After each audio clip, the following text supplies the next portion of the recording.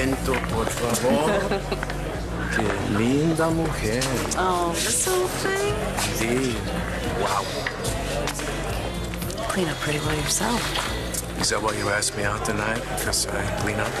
I just figured since you no longer require my services as an attorney, we could get to know each other on a more personal level.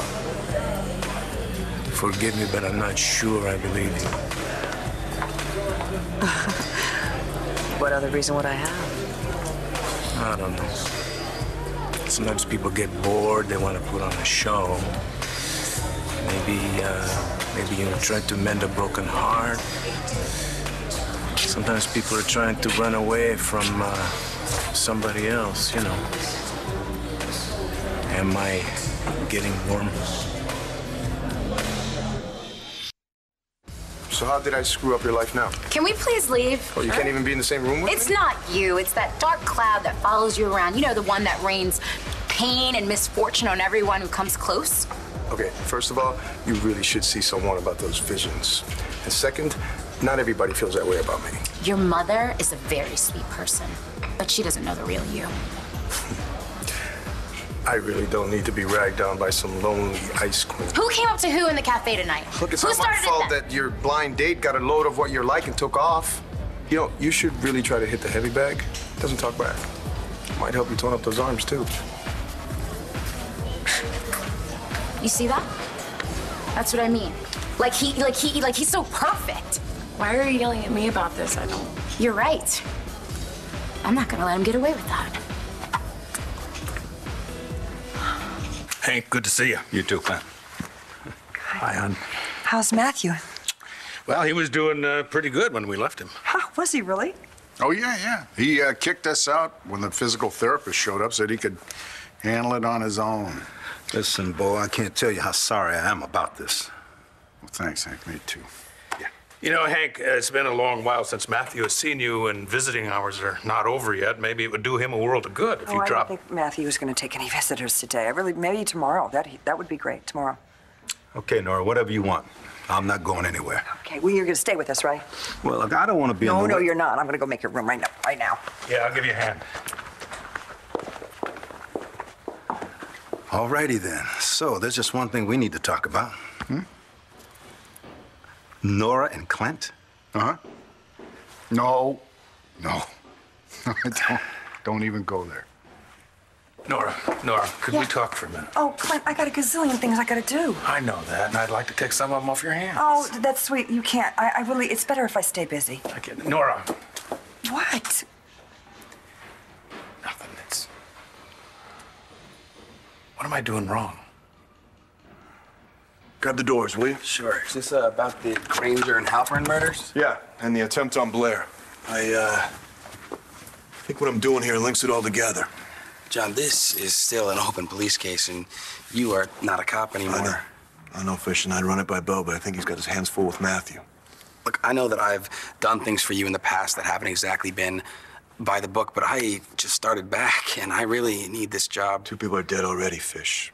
Blair nearly became the third. All right, so where do we start? We start with Manning.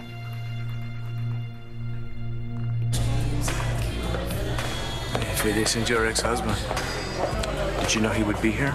I had no idea. Hmm. Todd, enjoying an evening out? Yeah. Got a lot of time on my hands since you decided to help Blair steal my kids. She's very good at her job until she stabs her client in the back. I'd, I'd watch out if I were you. Oh, Ray's not my client anymore either. He's my date. Run away.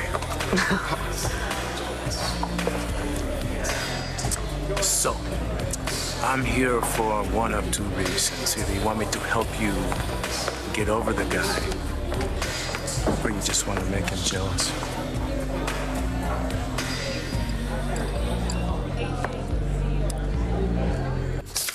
So you like Manning for these killings? No. But I'm not ready to rule him out either.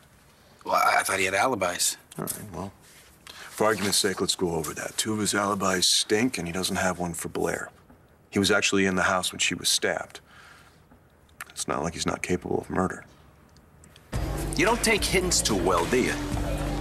I said no deal. You didn't even negotiate. I'm not interested. Now go stalk somebody else.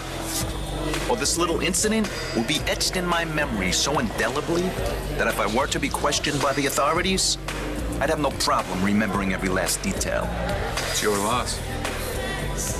Ann Manning had reasons for wanting all three victims dead. Well, Lee Halpern because her testimony could have put him away. Granger mm-hmm. for fighting with him. And for shacking up with Marty. Yeah, but why his ex-wife? Blair told him he would never get custody of the kids. They had a big fight about it about an hour before she was stabbed. When Dorian found Blair, she looked up. Manning was standing right there. Well, what does Manning have to do with the letters that the killer left with the victims? Maybe he's trying to send us a message. Well, that sounds more like a serial killer. Yeah, it does. All right, well, what are you trying to say? That Todd Manning has turned into a serial killer?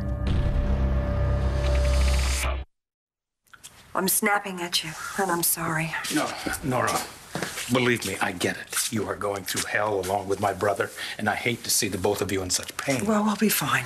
No, you don't always have to be fine. Yes, we do. We do. We have to be fine so that Matthew is. And how are you doing that? Obsessing over the construction and keeping your feelings bottled up. That's not what I'm doing. It seems that way to me. Well, I'm not. I just, I just, I just let it all out with Hank just now, blubbering all over him. I talk to Bo four or five times a day. Good. I'm glad that you're talking to somebody. Oh, Clint. What is it that you want me to? You, you want me to call you when I'm having these moments, these meltdowns? I mean, I, I don't plan them. They just happen suddenly. But if you want, I'll, I'll, I'll call you if I start feeling a meltdown coming on. Call, yeah. For you, my phone is on 24 7. oh Clint, I've just been nonstop. I'm working with contractors. I've got nursing home. I have rehab facilities. I have to be talking to, to teachers and all. Oh, yes, ah, I have a job. Yeah, and I want to take some of that off of you. I know, but you can't, you see? Because Matthew is my responsibility. And I just, I, I have to set my priorities, and some things are just going to go by the wayside. Like me. Nora, is that what you want? You want me to get out of your way?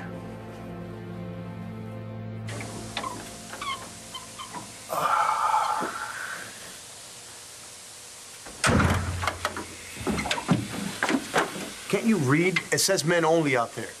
Do you see any men in here? I don't. That's because I'm leaving. I don't think so.